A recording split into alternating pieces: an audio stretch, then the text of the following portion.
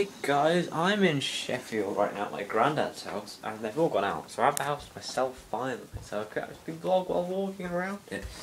Um, I have nothing to do at the moment. Um, it was rain on the way. the best bit of news I've got to talk to you about. I was going to fix the computer actually, so I'll do that. And then I was going to go to shopping later on the wood seats. That's just where we are.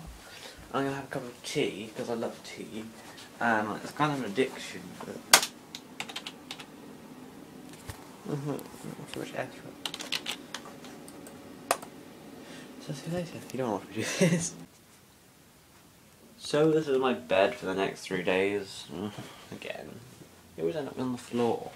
But there is one thing you can do.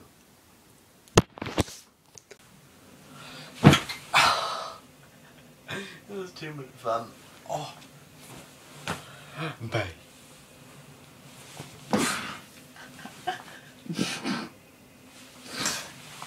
Oh.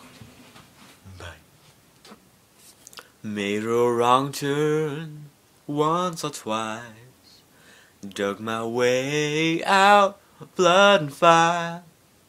Bad decision, that's alright. Welcome to my silly life.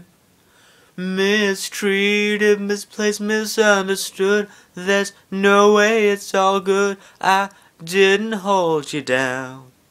So complicated, look how big I'm making. Underestimated, look I'm still around. Pretty, pretty please, don't you ever, ever feel like you're nothing.